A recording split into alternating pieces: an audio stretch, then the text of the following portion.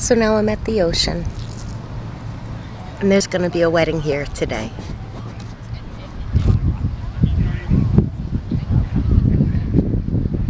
It's a beautiful day.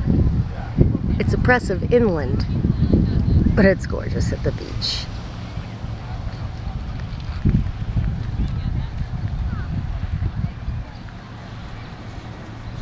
I'm very happy to be here.